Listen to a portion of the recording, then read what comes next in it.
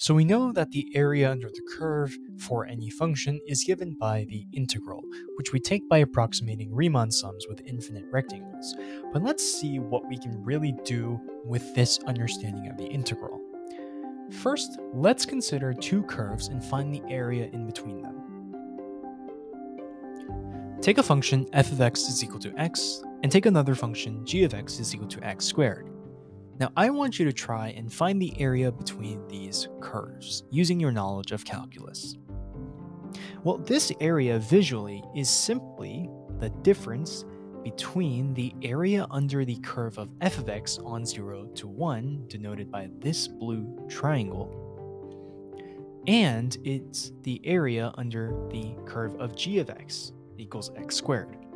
The difference of these two areas will give that yellow region, and these areas are denoted by integrals, the integral of these functions on 0 to 1. And so computing the difference between these integrals will give us the area between these two curves, which is going to turn out to be 1 over 6. And so if f of x is the top function, then this is how the order will go, and vice versa. If g of x is on top, then g of x will be the original difference. However, if you want a general form, then you can simply take the absolute value of their differences and you will get the same answer. You can also take the integrals and find the areas with respect to y.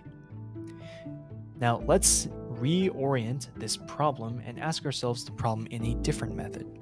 So we can take the top function as g inverse of y, root y, this portion of the area, and subtract the 1 to the left of it. So it's really right minus left instead of top minus bottom, and these integrals are just taken with respect to y. And once again, you can do this very easily, and you will still get to the same answer of 1 over 6. So you can integrate in a different perspective. So if the inverse function is on the right, that's going to be the quote unquote top function. And same for the case where g inverse of y is on top or on the right. And of course, the absolute value definition remains the same for this question.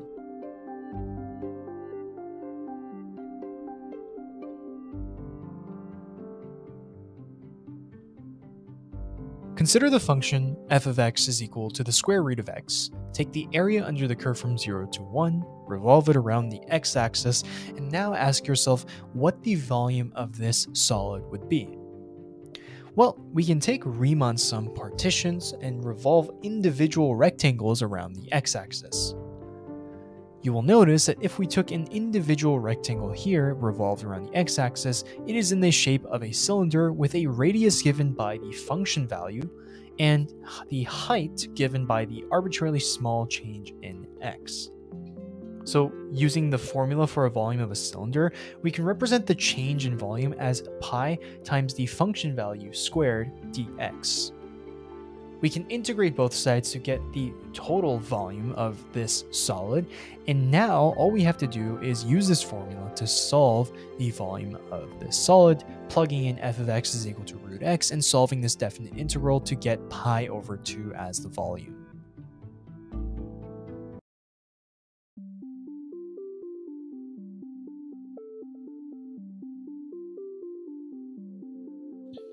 Now let's combine these concepts and take an outer function of f of x equals root x, g of x equals x over 2. The area between those curves is now going to be revolved. And now let's find the volume. Well, this is going to be the outer function's revolution volume subtracted by the inner function's revolution volume as you see follows. Compute these integrals separately and taking their difference will result in our final desired volume, and in this case we will result in 5 pi over 12.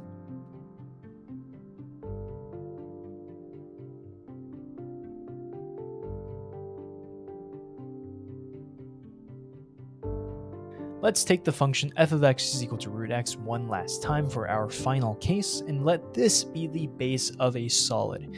Now we can make the cross-sectionals to be any shape. Let's choose a square and ask what the volume of such a solid is.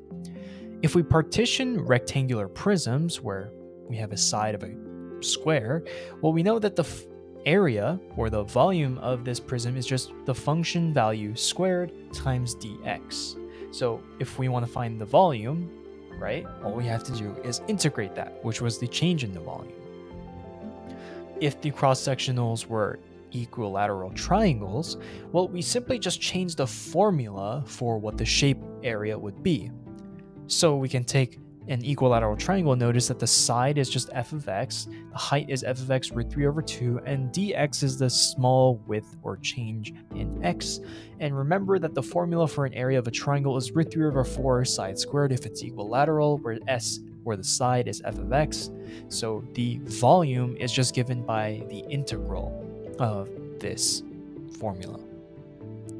Now, in general, let's say we knew that the area of some shape, let's say a star, was given by some formula. If we knew what that formula was, what you would notice that it is always going to be the case that the solid has a volume proportional to the function value squared in most cases, where k denotes some constant which was root 3 over 4 for an equilateral triangle, and 1 for a rectangular prism or a cube or whatever you would like to call it.